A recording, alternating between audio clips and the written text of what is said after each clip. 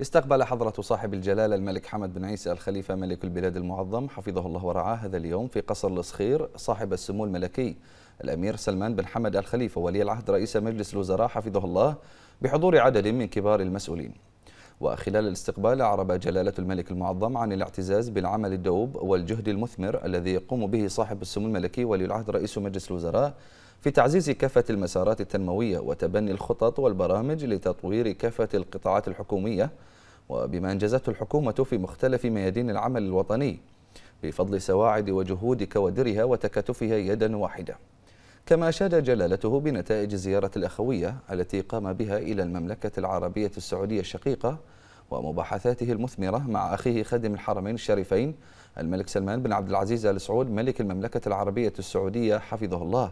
ولقائه مع صاحب السمو الملكي الأمير محمد بن سلمان بن عبد العزيز آل سعود ولي العهد رئيس مجلس الوزراء على صعيد تعزيز وتنمية العلاقات الأخوية الراسخة. وتطوير مسارات التعاون والتنسيق الوثيق والعمل المشترك بما يخدم تطلعات البلدين ويعود بالخير والنفع على شعبيهما الشقيقين.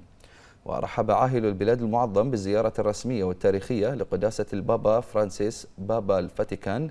وكذلك زيارة فضيلة الشيخ الدكتور الإمام الأكبر أحمد الطيب شيخ الأزهر الشريف لمملكة البحرين والتي تأتي تلبية لدعوة جلالته لهما.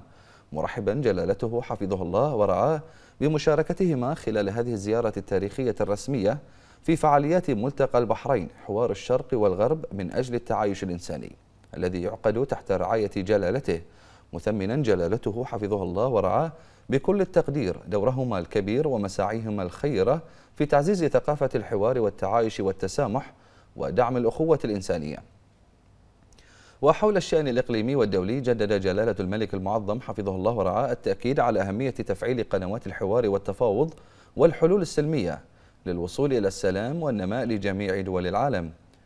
هذا وقد تم خلال اللقاء استعراض عدد من القضايا والموضوعات التي تخص الشأن المحلي